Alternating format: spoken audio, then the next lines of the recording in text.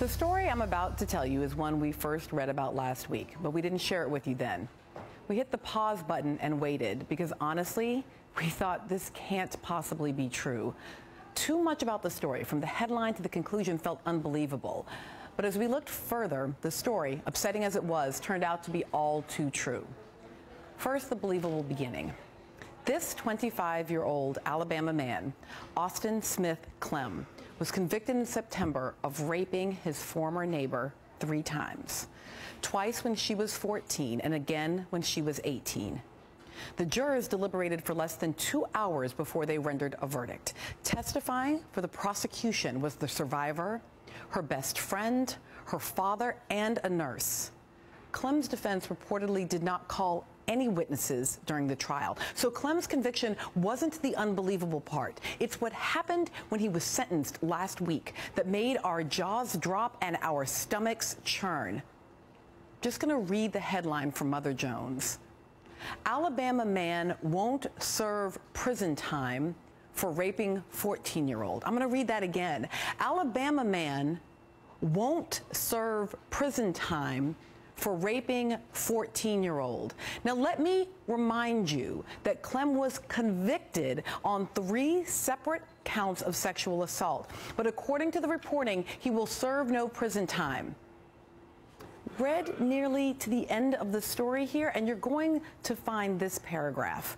Totten, he's the defense attorney in this story. Totten notes that he and Woodruff, he's the judge, are childhood friends who grew up down the street from one another, although Totten says he didn't feel that that affected the sentence. He didn't feel that being childhood friends with the judge affected the sentence rendered. And that sentence from Judge, Judge James Woodruff was a total of 40 years in the state penitentiary suspended along with six years of supervised probation. Essentially, the sentence was structured in such a way that Clem, convicted on three counts of rape, would not serve prison time unless he violates the term of what is essentially an extensive parole.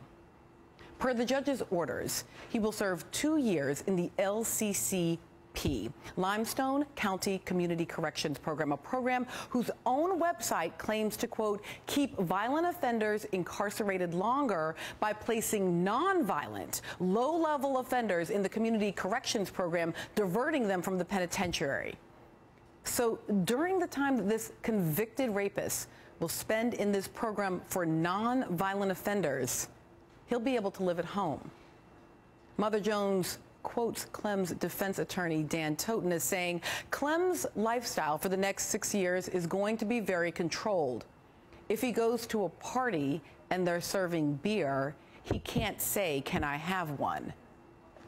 Totten said this sentence was no slap on the wrist. So by now, I'm sure you're seeing the parts of the story that at first we thought were simply unbelievable. This man was convicted of three counts of rape of a minor, and the primary punishment seems to be about having to stay sober while at a party. The survivor in this story is now a college student, and she's reacting publicly. Here's what she had to say to our affiliate WAFF about the verdict. It's been proven guilty, guilty, however many times guilty, and you're going to put him back in the streets with all these people. I don't know how that's okay with you, but in my heart, I feel like jail is where, really where he needs to be because I feel like that's the only place where he's not going to hurt people anymore. That was Courtney Andrews, and normally, you know, we wouldn't name a rape survivor. But Courtney has been quite vocal in the aftermath of this case. And she was in the courtroom for the sentencing, and she recalls the prosecutor leaping up when it was read and saying, This isn't legal. It's not a legal sentence. We reached out to the judge multiple times for a statement regarding the sentence, and despite our repeated attempts, he did, we have not heard back. Now, not only is the county district attorney going to the Alabama Criminal Court of Appeals and arguing that Clem's current sentence is illegal, but a network of rape crisis centers in Alabama are pushing to change state laws so that nothing like this sentencing can ever happen again. Now, I know that so much about this story seems unbelievable, but you do not have to take my word for it because when we come back, Courtney Andrews is here and she's going to speak for herself. We've been talking about the story that left us stunned this week. This young woman, Courtney Andrews, survived being raped three times, twice at the age of 14 and once again at 18. by the same assailant, 25 year old Austin Smith Clem, a one time neighbor for family in Alabama. And for that, Clem got a sentence on November 13th that has sparked outrage and disbelief six years probation and two years in a nonviolent community correction center, and zero real prison time. Courtney is not staying silent. She is making sure that people know about a rape sentence that some are calling illegal, and she is determined to fight this injustice. Joining me now is Courtney Andrews, now a student at the University of South Alabama. Also with her is her aunt, Melanie Johnson, and also Erin Carmon, national reporter for MSNBC.com. Thank you for being here. Um, start by telling me when you decided to tell and who you initially told. Um, I was 18 when I told. Um, actually, my best friend um, told for me because I didn't have the heart to tell my parents. So, um, I, I absolutely understand that, and yet that has also been used against you as a survivor in this mm-hmm. case, as it so often is, that somehow because you didn't react the way that people who have never survived this think you should have reacted, that that somehow says you were complicit in it. Tell me how you've had to fight back against that. Um, it's just that people don't understand like the feelings that come along with it. Um, being scared the fact that I was young, I was a child. Um, you know, you threatened to hurt my family, you threatened to hurt me. Um, what was I supposed to do? And it's just hard because people aren't going to understand that. Um, and a lot of people that have a problem with it, it's going to be hard to change their attitude towards it. So I feel like there's not really a whole lot that I can do to change their mind. But you're doing a lot right now to try to change the minds of the people who know that this man did this mm-hmm. because he has been convicted of it, and yet gave a sentence so light that it is hard to even think of it as a sentence. Right.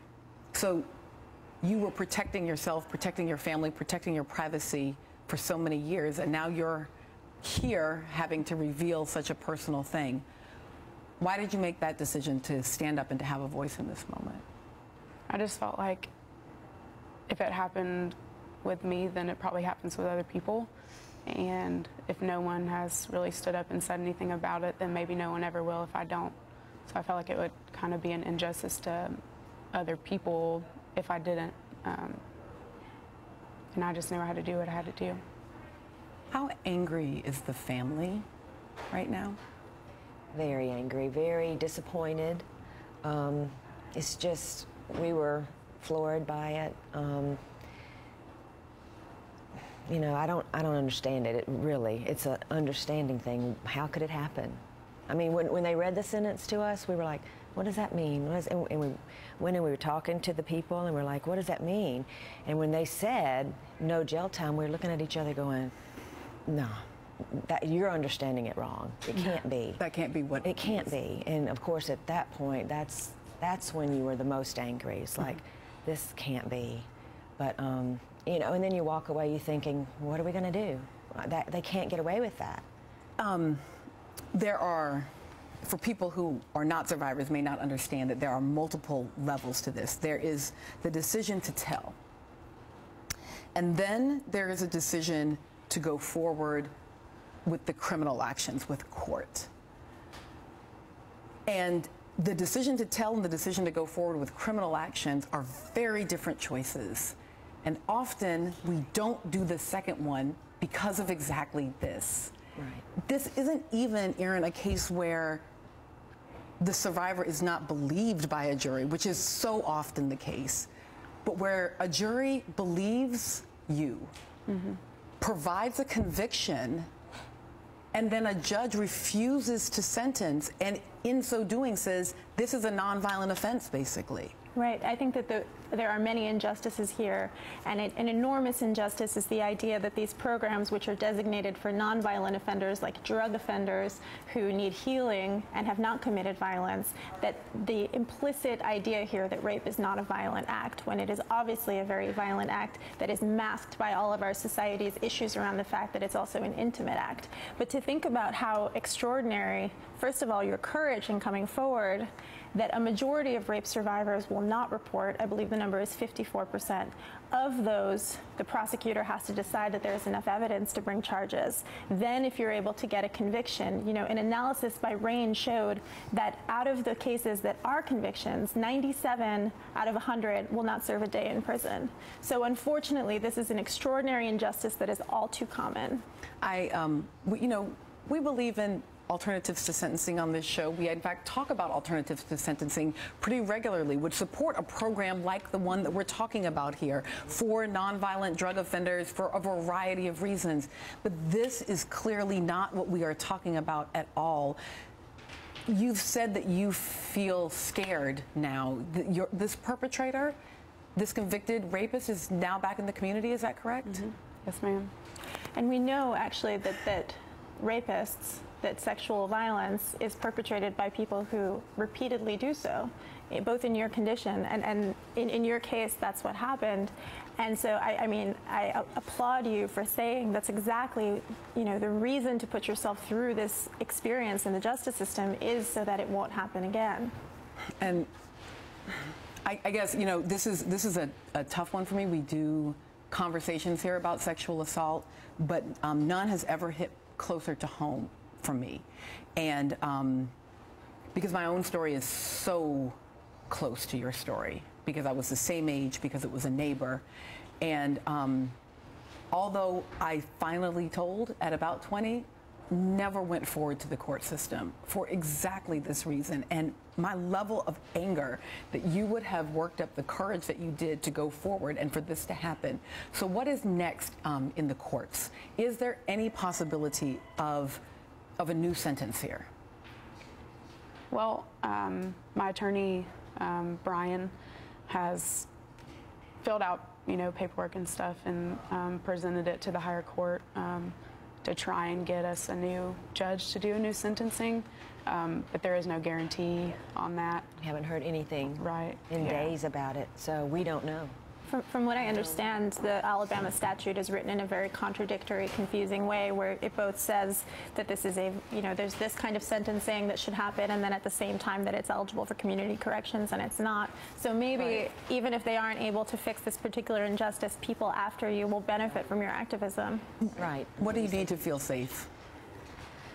I mean, for him to be in prison, I'm not gonna feel safe other than that. You know, every time that I think about going home to see my parents. It's going to be um, really hard every time I even think about my parents being home. You know, it just really bothers me and it scares me because they're there and I know I'm only 20, but I want to protect them. Because you didn't tell because you wanted to protect him. yeah. I wanted to be strong for my family. I still want to be strong, and if that meant dealing with it on my own, that's what I felt like I needed to do. Thank you for um, Thank you for telling. Thank you for pursuing it. Thank you for being here now. Um, it is, it's okay for it to keep feeling bad and um, to give yourself, up. there's no timeline. It's okay to take the time you need to heal, okay? And we're going to keep watching this story, all right? And we believe you. Thank you. Courtney Andrews, Melanie Johnson, and Erin Carmon, thank you so much. We're going to be right back.